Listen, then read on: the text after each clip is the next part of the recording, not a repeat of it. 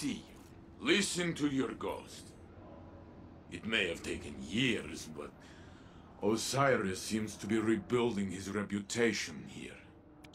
Each of these is a duty, a promise to follow through.